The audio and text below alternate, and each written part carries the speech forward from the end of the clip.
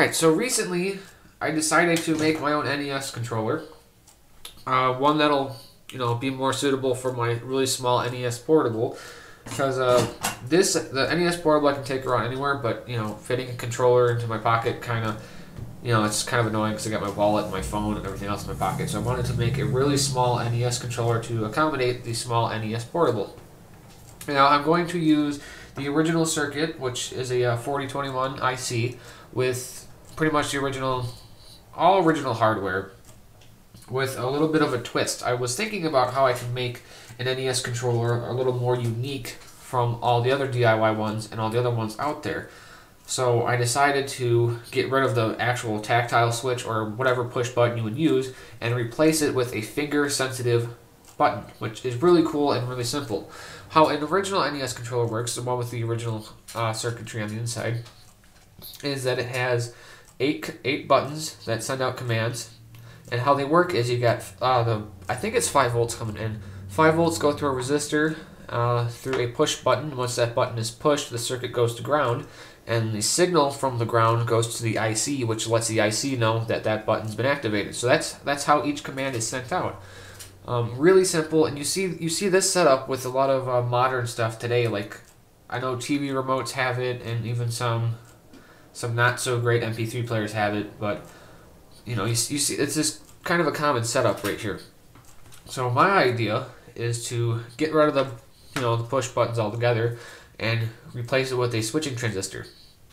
Now I'm probably just going to use a 2N3904 because I have a lot of them left over from a older project that have just been sitting there. It's kind of how I got the idea.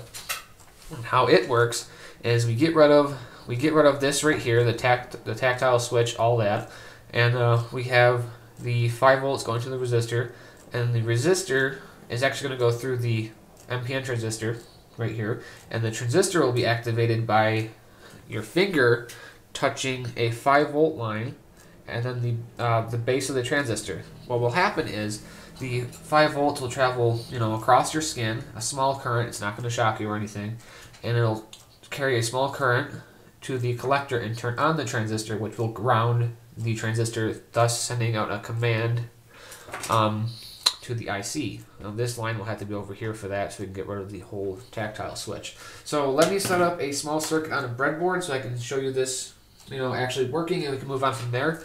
I'll get the um, 4021 schematic all drawn up and I also have an idea to add a rapid fire button for it, which I don't know if I'm actually going to do. It depends on how much space I have on the PCB because I, I do want to keep this thing small. Um, but it uh, it's actually kind of cool how it would work and it uses a 555 timer, really simple, really simple circuit. You know, 555 timers are kind of, you know, really easy. So let's get the uh, breadboard set up so I can show you a uh, example circuit, and then we can go from there and determine whether or not I'll use a rapid fire chip or not. I mean, it's just a fun idea to you know incorporate because some games um, require multiple pushes of a button, like Mario when you get the fireballs. It's kind of annoying to keep pushing it, so rapid fire might help. So enough talking, let's get a circuit set up uh, for proof of concept. Alright, so here's the circuit I have set up on my breadboard. I'll show you that in a second. Um, we got one RGB LED. I think we're using blue. So uh, it operates on 12 volts, so I'm getting away with 9 volts right now. And uh, what happens is the voltage goes through the LED and it's grounded through the transistor, but the transistor doesn't turn on unless we uh, su uh, supply the current to the base with our finger. So that's the circuit right there, pretty simple. And this circuit's been around for a while, so I'm not taking credit for it. Um, you can see it, like, if you Google simple simple uh, transistor tutorial, whatever, you'll probably find this a few times. Um, it's rather introductory level, so like it kind of opens your mind to how transistors work. And if you really want a really good understanding for how transistors work, I'll show I'll uh, link a video in the description. Um, by far the best video describing how transistors work, and it's really really good. Definitely worth a watch if you're new to electronics. Uh, when I first started learning about transistors a couple years ago, I had no idea how they worked. Um, my school that I went to for electronics did a poor cover of how they work, and it didn't really show them in use a lot. So I can understand if people get tripped up on them. So that video is definitely worth a watch. And you know, experimenting with transistors yourself also gives you a greater understanding of how they work. So with that being said, let's get to the circuit. Alright, so here is the circuit. Um, pretty simple, you got the 9 volt battery, the RGB LED, only using one color on it. Uh, the 2N3904 transistor, which I probably should be using a more tolerable transistor when it comes to 9 volts, um, but it'll work just for now. And right here are the two leads that once I push, uh, my fingertip to will conduct current from the 9 volt source to the uh, base of the transistor. So once I touch both of them, you see the LEDs light up. So that's the theory I'm going to try to, you know, prove when it comes to doing this with the NES controller. I think it'll work. I don't see why not. We're only connecting ground. Um, I'm pretty sure it'll work. I might have to use a uh, resistor before the base of the transistor. So I, so I have like, you know, some assurance of whether or not I won't blow the transistor. I don't think I will. It's only 5 volts, and uh, there's resistance between my fingertip as well, so it's not like I'm sending the full current to the transistor's base. So we should be okay there. And now the harder you push it, you know, the brighter the LED shines and whatnot. And let's see, just for curiosity, I want to see how much voltage is actually traveling across my fingertips.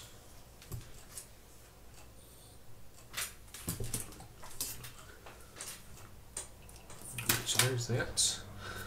Uh, let's see, I need some leads.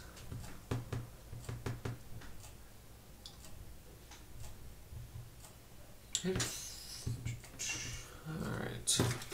I'm going to use these resistors real fast, just as leads to see how much... Um, see how much voltage is traveling across my finger. And I would measure current, but I just don't want to because it might be just complete overkill right now. So that was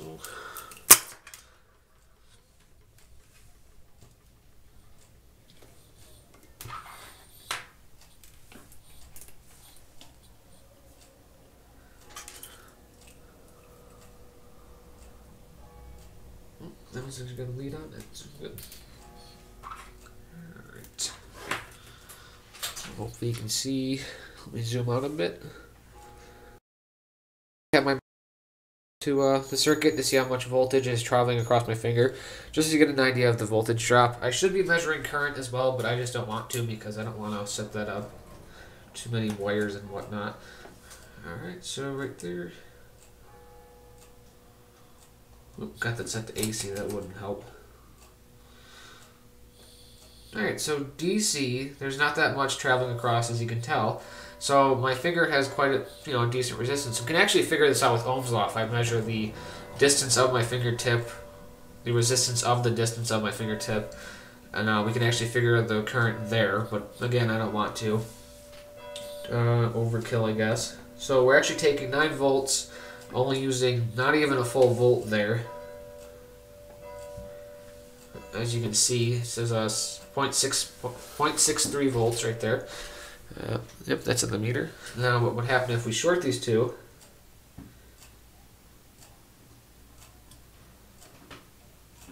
We'd be giving the transistor probably more than it can handle. Um, so yeah, so this is the circuit I want to test. I'm probably going to take apart a remote control and test it on that before I actually build the NES controller because that's a uh, not it's not a hard circuit to build. I built a few, but it's just I don't want to set all that up to find out it's not going to work. Um, I have a TV remote that uses the same setup as an NES controller where it detects when a button is pressed by going to ground. So I'm going to set it up with that and see if I can get away with it. And if it does, good. So that is next to come. So we're going to go ahead and get that started right now. Alright, so I decided to use the NES Retron controller itself instead of the remote control. Um, I decided this because the remote control had a weird setup with the buttons. Some were going to ground, some were going to other places, and I just decided not to mess with it and just went with this instead because, you know, it's made specifically for NES, so it'd give me the closest results to further my controller maker, making, rather.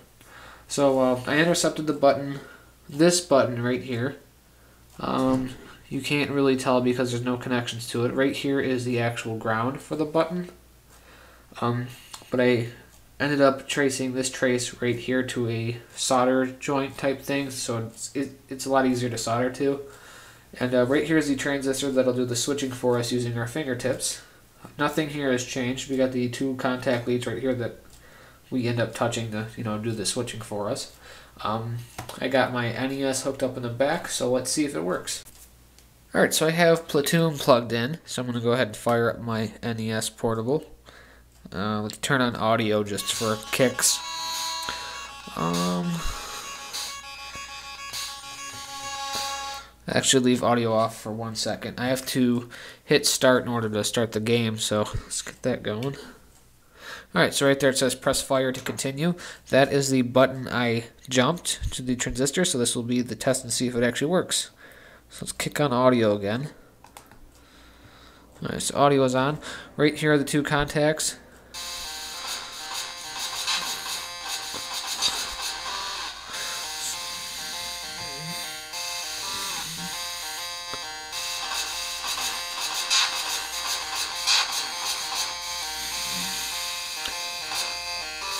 Alright, so as you can see it works. I'm going to go ahead so you can get a better visual.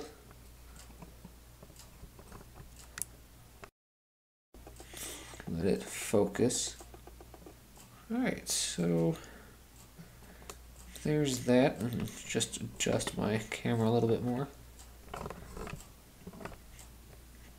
Alright, so uh, there's the screen right there, and once the, the two contacts are touched with my finger, the soldier actually fires his gun, which is the action button.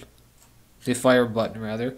So as you can see, it works. So all I have to do that, all I have to do now is make the NES controller using the 4020, uh, 4021 IC. I have three of them. Should be more than enough. I don't think I'll fail and uh, go from there and repeat this eight times and maybe add a rapid fire. I don't know yet. Um, I think that'd be kind of cool. Rapid fire would just be you know on and off really fast with an action button, so it's has its purpose, and again it doesn't. So I, I really haven't decided yet.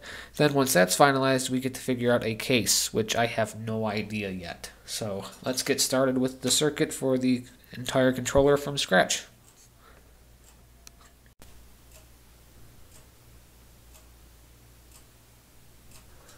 Alright, so I got some unfortunate news. Um, I finished wiring up the 4021 uh, circuit for the controller, the original circuitry for the original NES controller, and unfortunately it doesn't work with the Retron. Um, this is apparently is a common problem with the clone system, is like it works or it doesn't work, and this one works, but it doesn't. Uh, some keys register, some don't, and when they do, they're laggy, and then they're uh, when like, uh, for example, when I hit start, sometimes start will hit multiple times. So I have to scrap this entire thing, unfortunately, because it would have been really cool to incorporate the original circuitry. Um, unfortunately, I have to scrap that whole thing though. So we're, we're not technically abandoning this project. We're still going to have a NES touch response to controller. I'm just going to end up using the original controller board it came with only I'm going to extract the Gloptop's uh, integrated circuit and just make my own circuit board around it using the transistor array for the touch uh, touch buttons, if that makes any sense. So right here was the 4021 register integrated circuit schematic that I worked on. Right here is the rapid fire mod if I did want to, you know, implement it. I, did, I really, I thought it would be kind of cool to implement it, but right now I can't even because I have to use this um, glop top one instead, uh, which isn't so bad. I really would would have loved to actually use the uh, 4021, but I can't, unfortunately. So instead, we're going to use this right here. I'm going to strap the glop top and make my own circuit board around it and go from there. Um, but first, I have to copy down, well, reverse engineer this entire circuit board so I can get a layout of the PCB on paper or my whiteboard even, so I can uh, have something to reference uh, reference it to. So that's next. Right now, I have to work on the whiteboard and just get the whole circuit down. Um, I'm probably going to keep the LED in there. I'm not going to worry about desoldering it because this does look like a pretty weak PCB. So what I can keep, I'm not going to worry about. Like I'm going to try, going to try to cut uh, the circuit board right here so I can keep all the you know, rails coming off of the IC, and then cut the circuit board here to keep all the rails coming off that, plus a huge ground plane. uh, which is good. And then go from there. I'm also going to not use the slow-mo button, which is this one right here, and then the turbo buttons I'm not going to use, which is basically rapid fire. Um, I decided against it, I just don't want to use it. So I'm not going to use these two and this one right here. So we're just going to pretty much make this smaller and then tap into all the traces for my own use. So uh, let's get reverse engineering on this guy and see how complicated it is or isn't. Uh, it doesn't really look all too complicated because the only thing that looks daunting is, you know, its size, kind of. But you gotta remember that this entire mask along the bottom here is all ground, so it's not like it's a lot of like a lot of wiring. It really isn't. Um, there's no need for resistors to help pull down because that's all done internally on this. Uh, the only resistors on here is this resistor right here and this resistor for the LED. I don't know what this resistor does yet. Also, there's a ceramic capacitor and then a diode, which goes from there to there, which when I cut out, I won't have to desolder and move around because I don't want to desolder that and accidentally rip up the um, copper, so I'm going to keep that all within there. Uh, so yeah, let's get this onto paper or whiteboard, what have you. Alright, so I didn't record uh, reverse engineering this circuit board because it would have taken a while. I did have a few issues with it, but this is what I got so far. Well, that is the complete circuit board, actually. Um, I apologize for the dim lighting. If I have my workbench light on, it, there's a huge glare right there, so I want to keep that off and just have my room lighting so you can see it, but not, you know, have the vision um, obscured by the light. But anyways, this is the, the Glop Top IC right there. Uh, it's got um, a few odd connections, but all doable. Uh, the diode right here, which is going from pin 1 to 6. Um, I actually had to create my own pin count for it because Glop Tops are kind of sporadic, so you don't really know where exactly every uh, there is no like you know um, like a the 4021 it has a standard pin count unlike this this is just all over the place so I had to create my own pin count that could focus? Probably not. Oh yeah it's not gonna focus. I'll, sh I'll show a close-up of this later anyways. But for it as you can tell there's multiple traces coming out of the glop top. So I had to make my own I had to register a number for each you know trace as a pin so I can write it down. And it wasn't that hard. 15 minutes to get this all down, which if I would have recorded probably would have taken a while. But right here we have the controller wires that come into the IC to, you know, control it. And it also sends commands from the buttons to the console itself. You have red, white, yellow, blue, and brown. Those wires right there. And then we have a resistor going from, I don't know the value of the resistor. I'm not going to look it up. I actually could measure the value or look it up on my app I have on my phone, but I'm not going to because I don't need to. But that resistor goes from uh, 5 volts positive to the blue wire. And we have a ceramic capacitor which goes from 5 volts to ground. White is ground, by the way. Um, we also have a few weird connections that don't quite make sense. Like, on the circuit board it doesn't make sense, but when you write it down it makes sense. Like, they have this connection right here going to ground, and they actually traced it all along when they could have just connected it right there and saved copper or wasted copper, however you look at it. Um, that didn't quite make sense. This whole circuit board's weird. Uh, right over here we have a few pins, and as you can see, there are a few no connections. Um, this no connection right here is actually a dead end. It goes into the hole, which makes no sense. It threw me for a loop because I kept tracing it to nothing. Uh, this pin right here goes to the turbo buttons, which I did not bother connecting, as I explained earlier. And uh, the, this no connection right here went to the slow-mo button. And, no, uh, this one went to the slow-mo button. And this pin right here ran into another hole by the looks of it. Yeah, uh, right here. It ran right into that hole. So, another um, poorly designed trace, I guess. So it wasn't really that hard to copy down. It was kind of easy. So now all I have to do is break the circuit board along a nice line. It doesn't really need to get any smaller than this, but I think it's necessary just in case if I want to save some more room, because I have to solder up all the transistors, and then I'm going to add a resistor for each base, just to be safe, so I don't want to, you know, fry it. And then I have to solder up um, all the grounds, and then I have to run a 5 volt line to each transistor, which will somehow be implemented into the case later on because I have no idea how I'm going to even like attack that part yet. But I just want to make this as small as I can and go from there. So I guess I'm going to break it, the circuit board. I want to save all these contacts for the pins, for the uh, wires that come in from the controller. So I'm probably going to break it right here and then right over here. Which we're not really, you know, we're saving a decent amount of room, like almost two inches, if not two inches exactly. But it does save us a lot of room, and I can also get rid of right here and here and make it even smaller. But I'm just gonna stick with one nice shape because I don't like how cheap the circuit board feels, so I don't want to shatter it or something. So I'm gonna I'm going to get that broken and then um, I guess start soldering what, the transistor array first and then make all the connections because these buttons, let's move the tripod real fast. These buttons right here, um, they're not going to be ran like this. All, all, this, by the way, is going to ground. That's how each button, that's how the IC tells which button is pressed by which one goes low. Um, like uh, all these buttons right here aren't going to be there. They're going to, the transistor is going to take its place. So, for example, let's take this button right here. We're going to use a 2N3904. It's a standard NPN, negative, positive, negative. And uh, that's the poorly drawn schematic, schematic right there, the symbol for it. And uh, what we're going to do is we're going to run the, the, uh, the trace coming from the IC through the transistor and then take 5 volts and run it through our fingertip and a resistor. So when we push it, the button's pressed. So uh, there's going to be no tactile switches, no buttons at all. It's just going to be array of transistors, which is eight transistors, you know, eight buttons. So I have to work that to the PCB as well.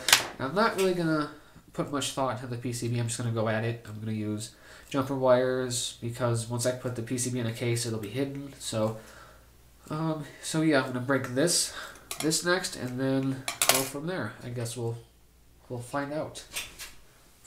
Get my light back on. That stupid glare.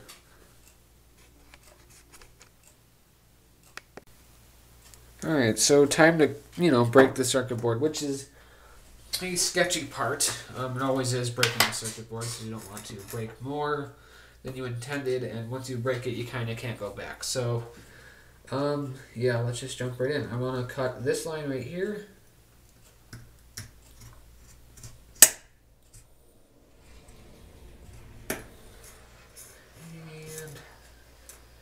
Right around here. Um, if I save these pads right here as much as I can, it actually helps when I have to solder the buttons to it. Uh, it's more surface area for the solder joint.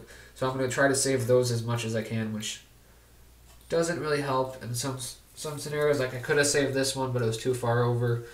Um, I'm saving this one for down, and then this one for something, and then yeah. So just it helps out a little bit.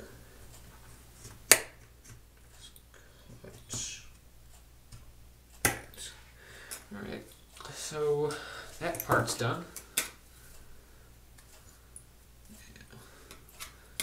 I'm gonna do this the smart way and the not so smart way take my pliers, well snippers, and then shoot it. See, that's why I don't like doing that, because it, it just shoots off. That ping was off my tripod.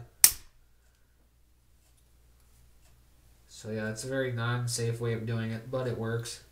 Also, these little holes will help as uh, stress relief or release release relief cuts. That's what they're called. I learned that like um, in like a tech shop, like in like seventh grade or something like that. My uh, woodworking teacher would not stop stressing relief joints or cuts. See, helped out quite a bit. So this is what we have left to work with. Um, pretty small, and I, like I said, I'm not going to worry about getting rid of this LED. And uh, cutting it this small also means I don't have to relocate these components. Same with the, you know, hookup joints for the actual controller wires. So that's a good part.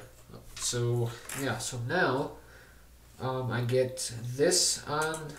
Well, now it's actually time to start with the circuit board, my custom one. So let's get that going. I guess first we'll get like a size reference going. We'll get the transistors on and go from there. Alright, so I got this, you know, PCB. Um, pretty much standard. I bought it from Radio Shack as much as I cannot stand that place. Um, I don't like Radio Shack because a lot of their stuff's overpriced. Like, uh, no one should have to pay three dollars for a transistor, especially like a weak two and three nine oh four. That's why I order all my stuff off Tayda, which I don't. Um, I don't work for them, but I just love that place. Uh, they have really good components at reasonable prices. Like I got 24 transistors for like 50 cents or something like that. So really worth checking out that site. I only go to Radio Shack for last minute things, such as transistors, um, sometimes switches, and then perf boards and wire and whatnot. But I try to avoid them as much as I can. Not because, you know, they just they're just overly priced and they don't sell a lot for their prices, so it's kind of kind of cheap. All right, so we got the circuit board right here, and let's see, it's got a nice size reference going. Um, we could have all the transistors. We need eight.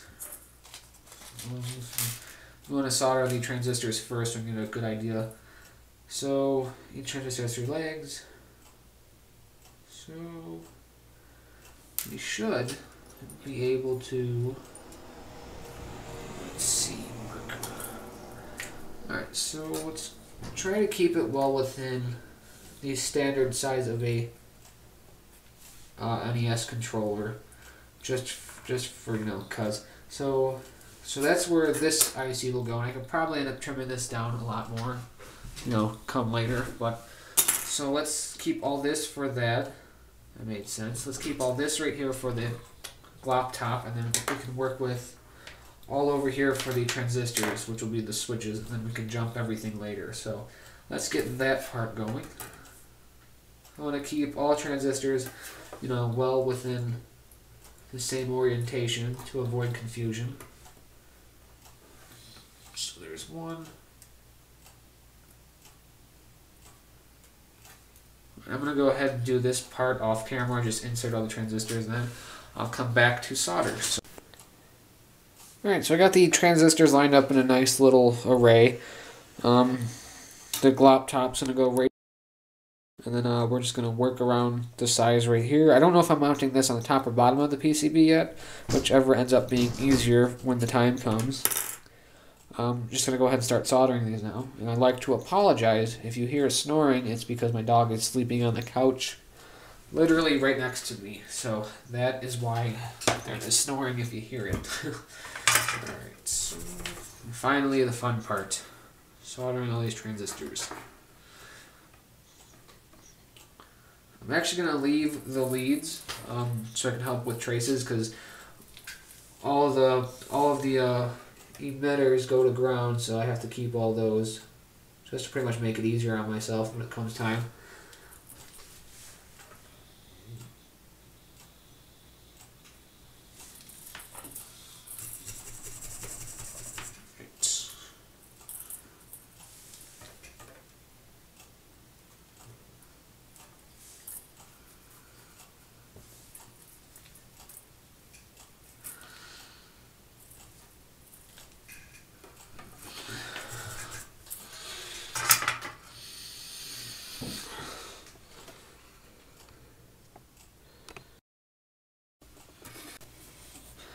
Alright, so I got the transistors all soldered up, um, as you can see right here. Yep, all the transistors are soldered up. Um, we got ground all connected. Uh, we just, you know, I just soldered all the emitters together. I mean, uh, yeah, all the emitters together, and I jumped the ground right here, so it'd be easier to hook up later, just one wire. And now, what's left to do is jump each signal before ground from the switch to each collector of the of, uh, of the transistors, which is going to be the most time-consuming part because I have to sand, uh, scrape away some of the solder mask here, and then solder directly to it. So the best thing to do would probably be hot glue the circuit board to it, so I don't end up causing too much stress to the circuit board. Because I don't want to lift up the traces. That's the last thing I want to do. So I'm going to do that real fast. I'm going to do this off camera because it's going to it's probably to be the most time consuming part of this project.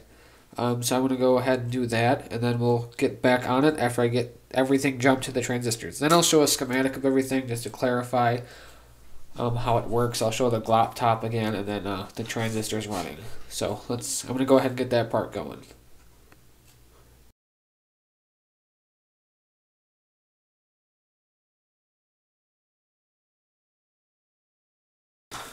Alright, so I have it all soldered up. Um, uh, after I sanded the PCB tracings, I just went ahead and soldered everything. Pretty simple. Um, yeah, so we have what looks like a mess of wires, but actually what I think to be a successful outcome. Right here we have our 5 volt wire that will be between our, the, this wire right here will go on our finger, uh, and uh, the it will also go through our finger to the base of a transistor that controls an action, um, one of the eight buttons rather. So what you see is the um, top circuit board right there, hot glued in place. You got the eight transistors down here that do the switching for us using our fingertips. And we have eight green wires coming up that will be um, mounted on a case somehow. So which we touch this and the red one at the same time a small current will pass through our finger, our skin, and uh, it will actually, you know, control the button. So uh, the only thing left to do now is test it, and I'm kind of nervous, but it should should have all went, went according to plan. I mean, it was pretty straightforward. It wasn't too complicated, but um, yeah. So let's go ahead and test it. Um, that's pretty much all we have left to do now. So let me get my Retron uh, NES portable set up. Uh, let you view it and the controller as well, and then if it works, we'll cut the PCB and move on to a case, of which I have no idea yet, so that part will be fun.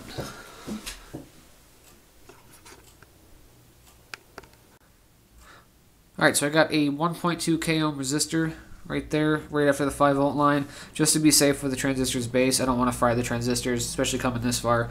Um, I'm going to go ahead and solder that in place after I do the first test. So let's fire up the NES and get things started. So this is the 5 volt rail.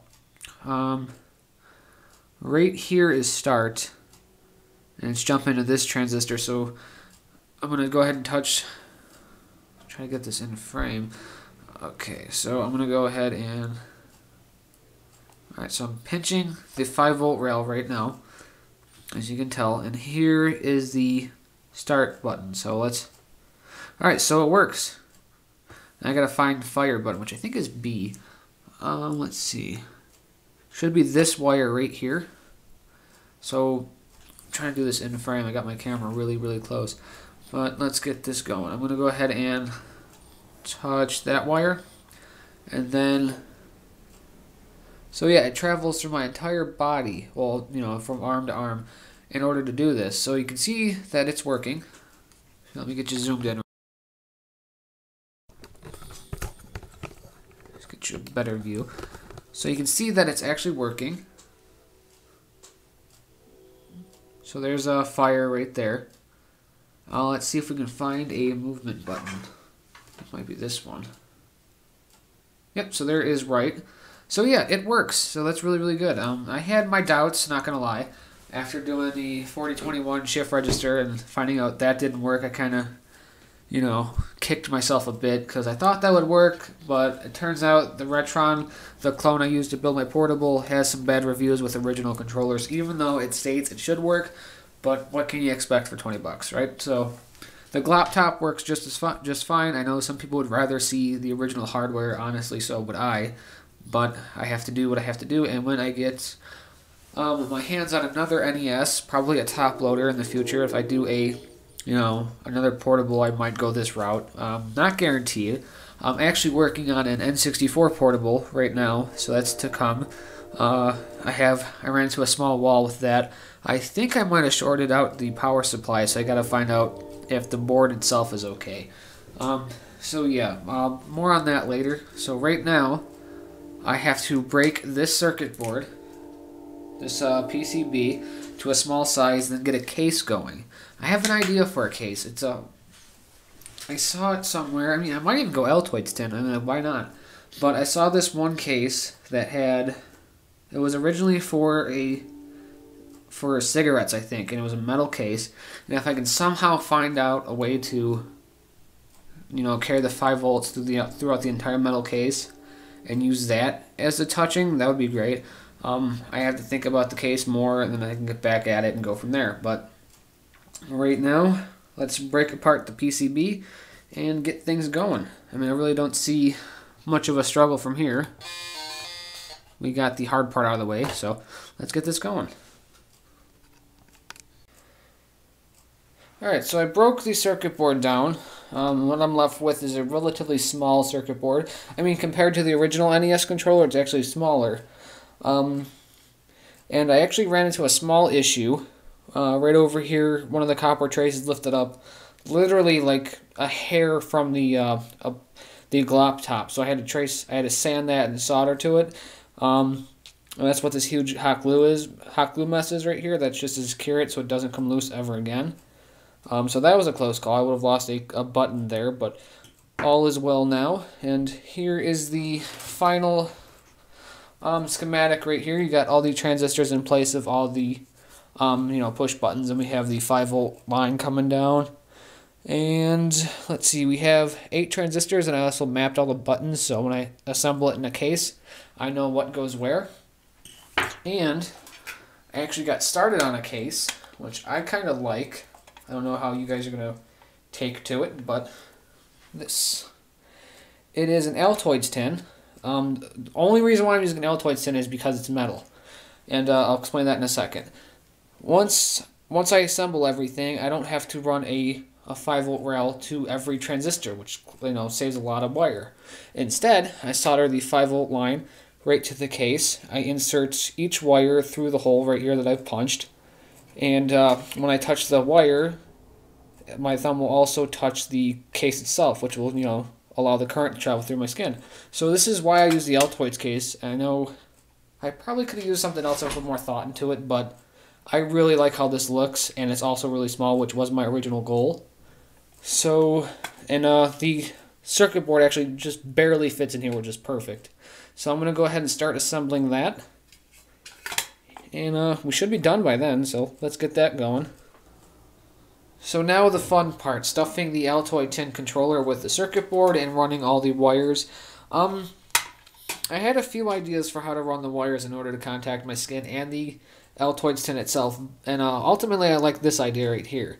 I cut the wires uh, clean off, there's no copper exposed at all, you know, only what's, you know, level with the shielding itself, and when I mount the wires, they'll be sticking straight up, just just enough so you can see the copper.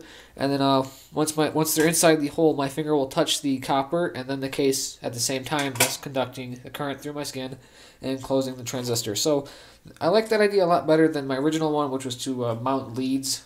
You know, coming out of the holes and a little bit down.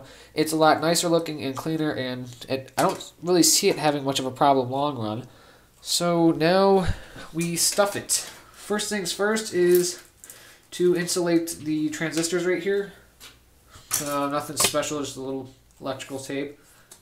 That's just to ensure nothing, you know, touches or whatnot. I could insulate the whole Altoids tin, but I don't want to.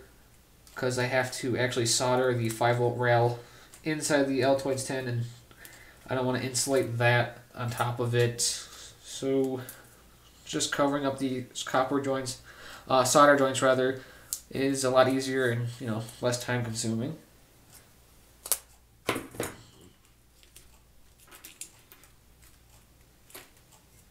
One more. Also, if you haven't noticed, um, I have a new workbench. I forgot to mention that. It's a countertop I repurposed, and it actually gives me a lot more room to my desk, so that's really, really nice. I posted pictures of that on my Facebook if you want to take a look at it. Alright, so I'm going to solder the 5 volt 5 volts first, which I've already got a solder joint started. Um, you can actually solder directly to the Altoids tin, which is really cool. I found that out a while ago when I made a pocket FM transmitter. So use the Altoids tin as the antenna.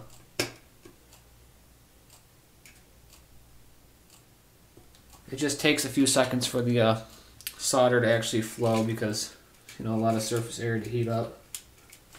But that should be good.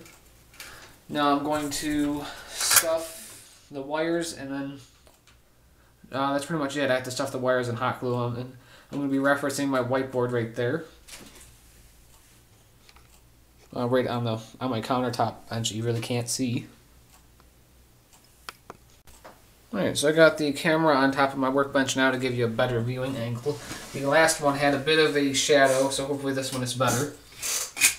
Alright, so I got the 5 volt line soldered in place, and now I'm going to start jumping um, trans uh, transistor wires individually, and I'm going to start with this guy right here, which happens to be start. Uh, like I said, I'm referencing my whiteboard. You can't see that off screen. So I'm going to get that one in place and hot glue it and go from there. Alright, so start is going to be this one right here. I'll get a close-up of this in a second, but the wires fit just perfectly for my, uh, for my, like just, they just fit perfectly in the hole I punched. Um, they probably just need a little bit of a shove with my needle nose pliers if I can find them in my, you know, pile of crap on my workbench. There I go. That one's good. Alright, and now hot glue it in place. Right.